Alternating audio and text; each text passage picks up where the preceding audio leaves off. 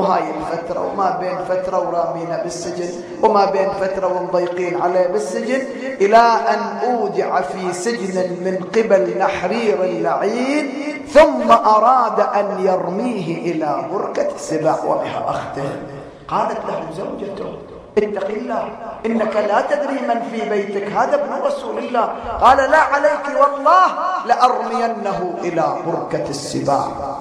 تقرب إلى الأمير المعتمد فرمى الإمام في بركة سباع مجوعين وأغلق عليه الباب. مثل ما قلت لكم كانوا إذا أرادوا يعذبوا شيعة أهل البيت يرموهم إلى البركة. يقطعوهم يا رب يا رب. يريد يسوي نفس الشيء مع الإمام الحسن.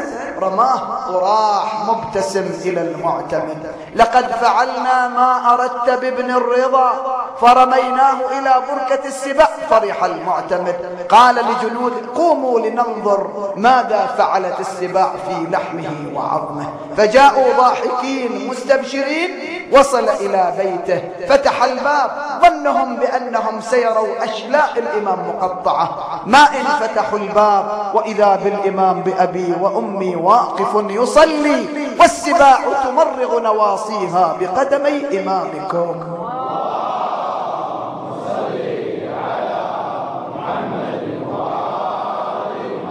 ثم اعتذر المعتمد للإمام أخرجه ولكن قال لا أبقاني الله إن لم أخليه من الأرض. فصار يتعمد ويرتقب يوما لكي يتخلص من الإمام العسكري روحي فداه إلى أن صار اليوم الأول إخواني مو مثل هالليلة أو اليوم. اليوم الأول من شهر ربيع الأول. اليوم الليلة ثامن. دسل إمامكم لإمامكم ثم النقيع ثم النقيع بعد تلك المحنة التي عاشها. قلبه مهموم مغموم. ما شاف الإمام الهادي ولا العسكري ساعة هناء والله. فدس له ثم النقيع. تقطعت بها أو به أحشاء وأمعاء. فطرح نفسه على فراش المرض يقبض يمين ويبسط أخرى وقد جرى السم إلى جميع جسده أين المنادي وإماما؟ إي إخواني الامام الحسن ما عندنا فرق بين العسكري والهادي والجواد والحسين كلهم سواء صحيح مصيبة كل واحد تختلف لكن إحنا الليلة جمعة نواسي ابنه المهدي ها. نريد نعيش هالدقائق الأخيرة مع ابنه المهدي في عويل وبكاء على إمامنا الحسن العسكري. ثم تقدمت الأيام وفي كل يوم يضعف حاله. سؤال بعد سوء إلى أن صار مثل هذه الليلة الليلة الثامنة من شهر ربيع الأول. عند صلاة الغداة يعني غدا فجرا إخواني يوم الجمعة. مثل هاليوم ليلة الجمعة فجرا. خلاص سر السم إلى جميع جسده. صار إمامكم يرتعش كما ترتعش السعف في مهب الريح. ولم يكن في البيت إلا عقيد الخادم وصقيل الجارية ومن علم الله يعني الإمام المنتظر. صح للجارية ادعي لي ابني دخلت الجارية إلى البيت. وإذا بطفل مرغ ناصيته وجبينه على التراب. والدموع تتبلور على صحني خده يناجي ربه. قالت سيدي سيدي إن أباك يدعوك الساعة. قام إمامكم المجدي من ساعتي. دخل على أبيه وحينما بصر به الإمام الحسن فتح باعه وضم ولده إلى صدره. بني إلي إلي هوى على صدر أبيه. وإذا بالحسن يرتعش والإمام المهدي يبكي على أبيه. يلا صيحوا آه ويا الإمام المنتظر. شايف ساعة وداع شلون يقول له يا أبو يا موحش الدنيا الدنيا علي.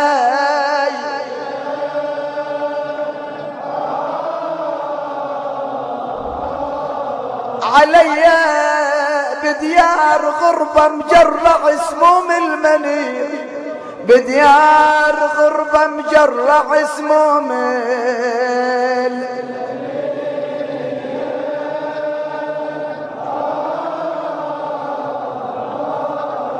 بويا بويا يا يا بويا أهوى عليه يصيح ودموعه سجيبة. شلون الحبيب يروح ويفارق ويفارق حق. آه. صار وقت الصلاة. بني محمد وضئني ما عندي قوة. جاء بالماء وضع المنديل تحت أبي. صار يوضئه للصلاة وضأه بيده. ثم قال بني علي بماء مغلي بالمصطكى. جاءه بماء ليش يريد يخفف حرارة السموم؟ مسك الإمام المهدي القدح بكلتا يديه وأعطى القدح إلى أبيه الحسن. أمسك إمامكم بالقدح وإذا بيديه ترتعشان من شدة الله قرب القدح من فمه وإذا يسمع تحرك أسنانه في القدح يعني يرتعش. ثم صلى صلاة خفيفة من جلوس.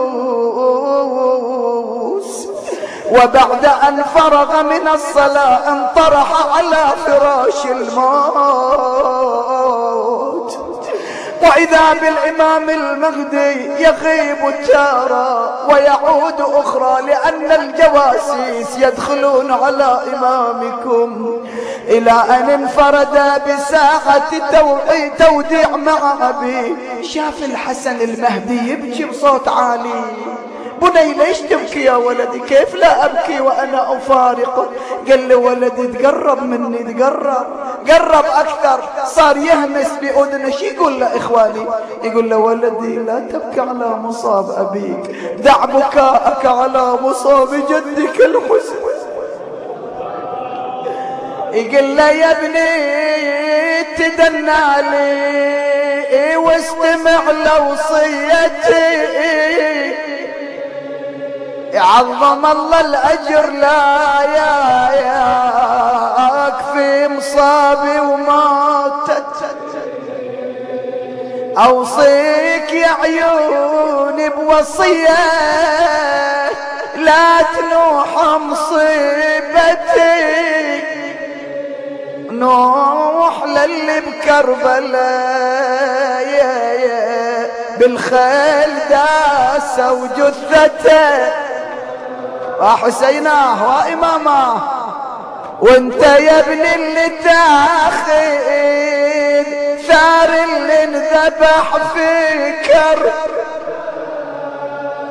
ومن قفاه قطعوا راسه ودم بنحره غسله.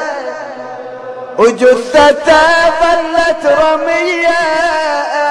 على الصعيد مجدلة وراسه يتشغر يا ويلي وراحت أسارة نسوته.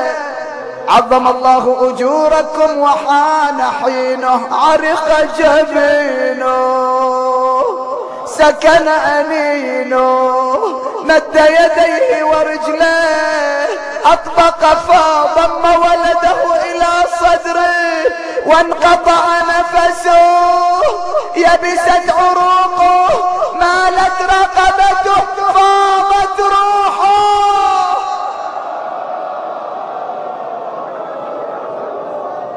صرخ إمامكم المهدي وأبت أصيح وياه وإمامه غمض عيونه وسكن ون والله سكن ون وفاضت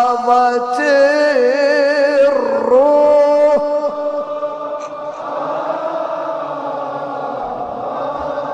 فاضت الروح وارتفع من بيته ضجيج الحرم والنوح. ما جت سماوات العلا والله العلا والقلم والله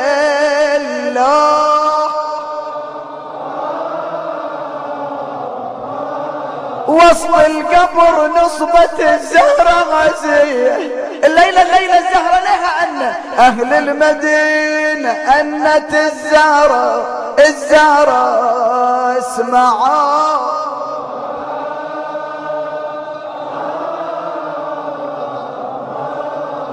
تنادي كبدي يا شيعة المسية قطعوها. وصية الهادي في ولادي والله ولادي ضيعوا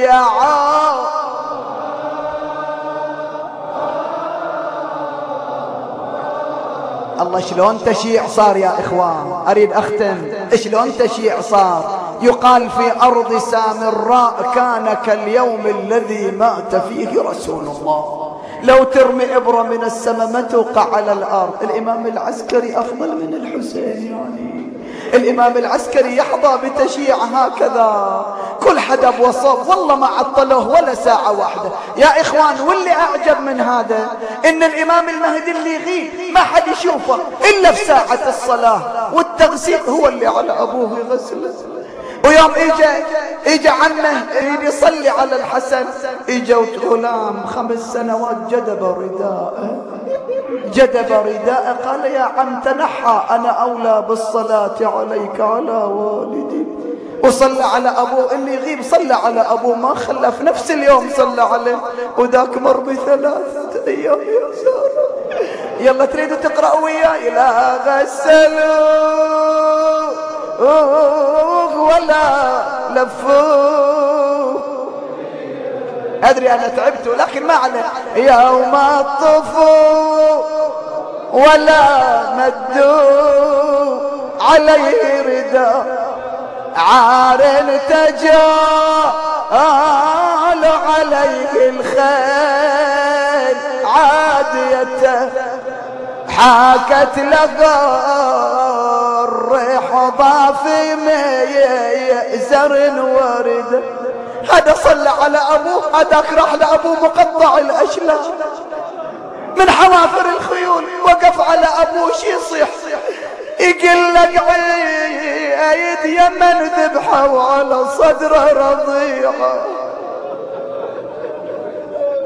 اقعد يا ابويا يا ابويا قلبي كيف اعدد لك صدوعه يا ابويا من كربلاء للكوفة للشام الفجيعة.